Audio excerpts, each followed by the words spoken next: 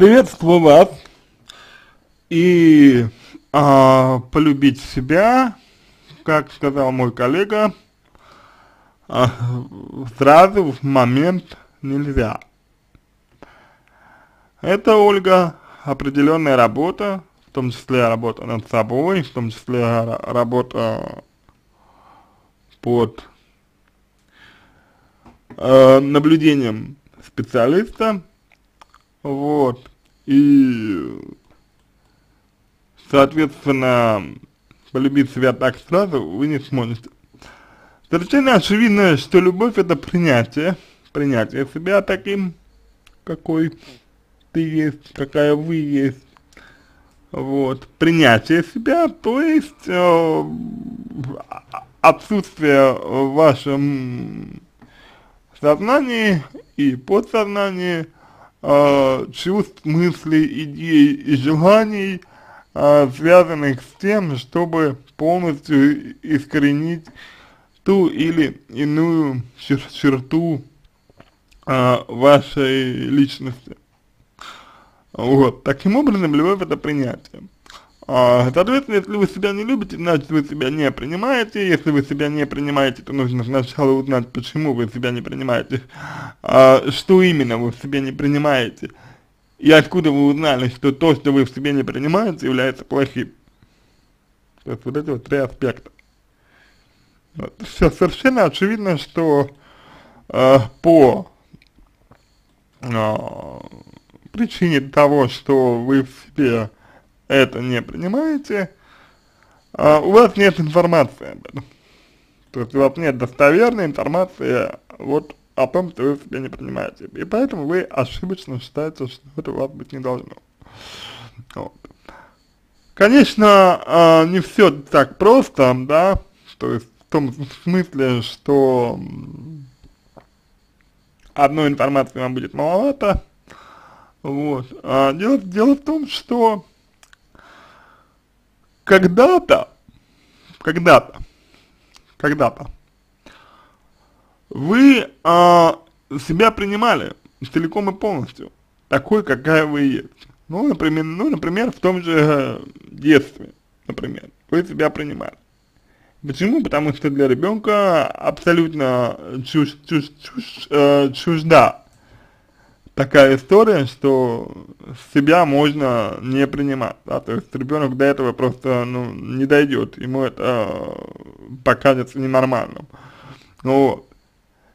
И э, бывает, конечно, истории, когда человек, э, ну, сталкивается с э, какими-то негативными проявлениями э, своих э, поступков, да, своих действий, вот.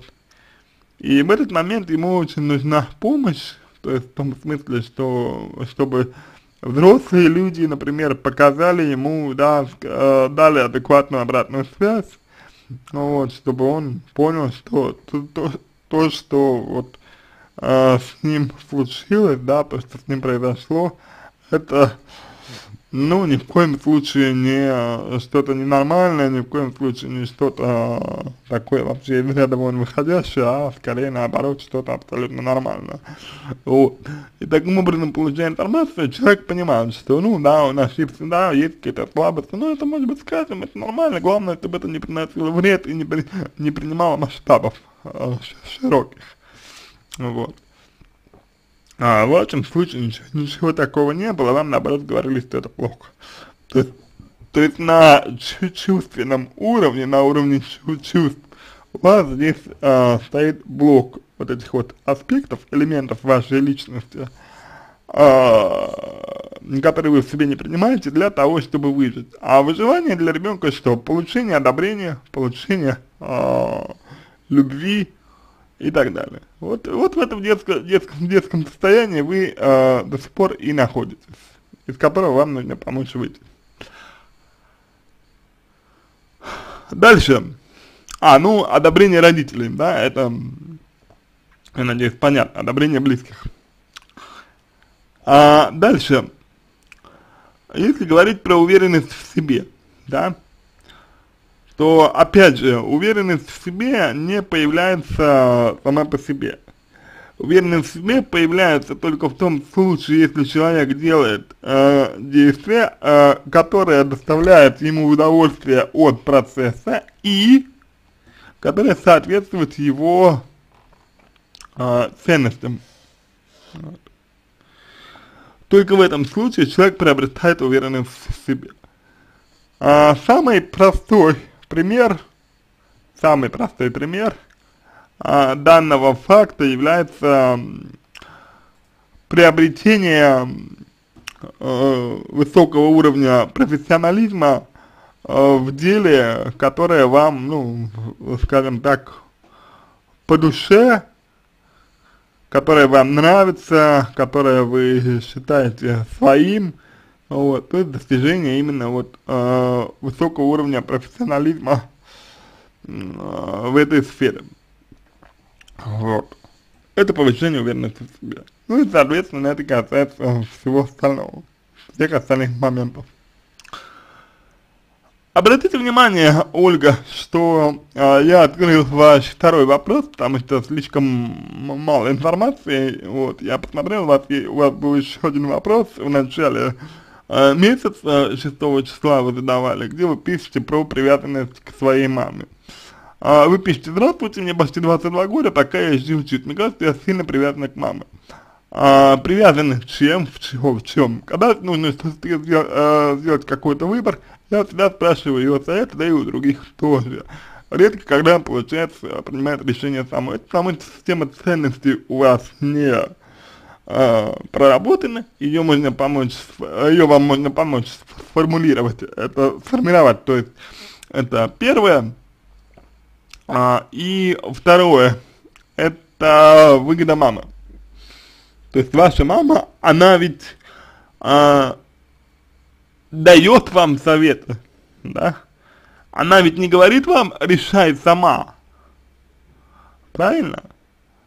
Она дает советы вам.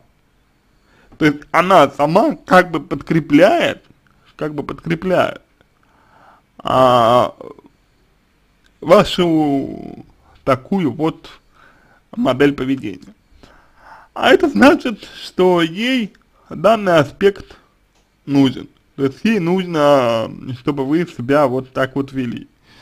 Вот. Для нее это необходимо. Значит, это выгодно. Вот вы а, подумайте просто, кому выгодно, тот вы зависит. Вот кто-то не уверен в себе и отсутствие принятия себя, это самое сторону. То есть вначале э, ваши родители волей-неволей э, своим отношением сделали так, что вы себя не принимаете, потом сделали, сделали себя, не, вас не уверены, и после этого э, появилась привязанность. Естественно, потому что у вас нет собственных ресурсов. Вот.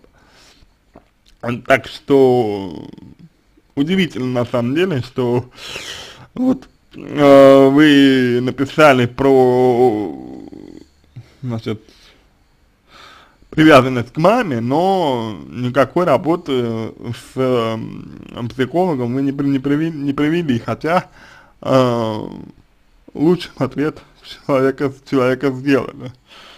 О, для меня это, конечно, несколько непонятно.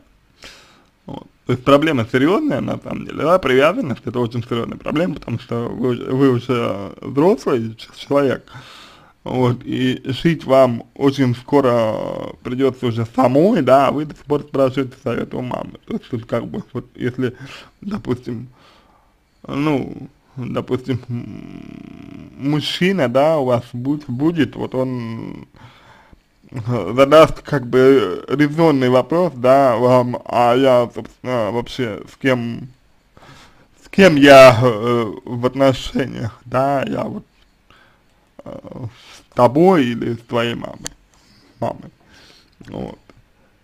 Зависимость, опять же, это потреб, потребность в чем-то, и вам, скорее всего, нужно, э, для вас это потребность в одобрении мамы. Ну или, может быть, чем-то еще. Тут нужно разбирать, ради чего и почему вы спрашиваете у нее совет. Вот. И, э, значит, работа с ценностным аппаратом. А, возможно, боюсь неудачи, что, э, что вас судят, всегда все должно быть хорошо. А так бывает, чтобы все всегда было хорошо? Что плохого в осуждении? Почему, почему вы боитесь неудачи? Э, как вы относитесь к ошибкам? Что это для вас значит? Расскажите, пожалуйста. Вот, очень хочу найти свое предназначение, некомфортно, хочется уже работать, но время тратить на любом, на, на, на любимую работу не хочу. Для чего вы хотите найти предназначение свое? Понимаете, насколько романтично это звучит, ваше предназначение? Понимаете? Вот насколько это звучит роман, э, романтично, а насколько это звучит наивно. Не бывает предназначения у человека. Знаете, это все э, сказка. Сказка это все. А, человек анализирует свои способности, анализирует свои ценности, которые у него сформировались, которые должны были сформироваться э, к этому времени у вас, грубо говоря, вот. И, и исходя из этого он уже принимает решение и работает. Вот. Может быть на несколько работ. Либо человек определяет своими целями. Вот. То есть ничего плохого в нелюбимой работе нет, если есть цель, какая-то определенная цель, если есть, ничего плохого в, в, в работе нет, нелюбимой. Вот, то есть вы не тратите время на нелюбимую работу, вы, вы идете к своей цели, цели, поэтому сперва поставьте цель.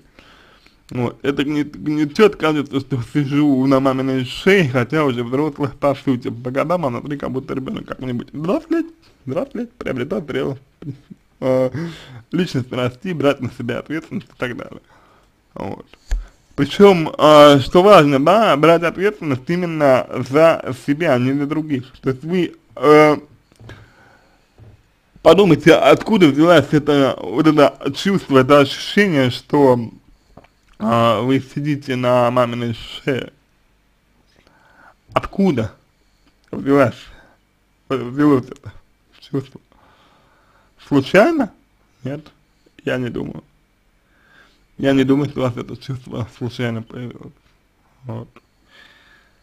Я, если честно, думаю, что у этого чувства есть э, причины. Вот. Я думаю, что у этого чувства есть причины. Я думаю, что эта мама э, негласная на вас так влияет. Вот вот этим вот этим вот э, чувств, чувств, чувств, э, чувством, может быть, долга какого-то. Вот. Мне думается так. Вот, потому что вы не сидите у мамы на шее. Это, это, знаете, ваш родитель. Вот. Это единственный, кто будет э, к вам относиться, ну, вот так. Знаете? Это единственный, кто будет относиться к вам так, единственный, кто будет вас любить, безусловно, и так далее. Поэтому я предлагаю вам посмотреть на, на эту ситуацию, да, то есть откуда вот вы взяли, что вы сидите у мамы на шее. Вы учитесь, это нормально. Сейчас у вас самое лучшее время. То есть, самое лучшее время это не школа, это именно студенчество, потому что а, студенчество вы взрослые уже, а, вот, но при этом, да, вот, при том, при том, что вы взрослые, вы все еще не несете ответственность за себя. Поэтому надо пользоваться. Надо пользоваться этими историями, а не винить себя. А вы себя вините, обвиняете. А это не ваши мысли. А, как говорят в гештальт-терапии, интроекции. То, то есть не, нечто чужое, нечто чужеродное, что вы полностью приняли без, без критики какой-либо. Вот. А это позиция абсолютно неприемлема. Ну, для человека, который, вот, опять же, взрослый, да, вот. То есть взрослый человек, он отвечает только за себя, не отвечает за других. Вот. Если ваша мама может вас содержать, она содержит, и проблем здесь как бы нет. Вот.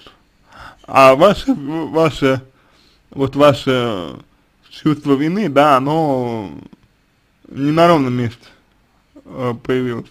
Вот у вашего чувства вины, да, у него есть э, свои, как бы, причины. Вот. Поэтому с этим нужно разобраться. Вот. Выбирайте себе эксперта на нашем ресурсе и начинайте работать. А, на этом все. Надеюсь, что помог вам. Если у вас остались вопросы дополнительные, пишите в личку, буду рад помочь. Ответил, ответил я вам на два вопроса вместо одного.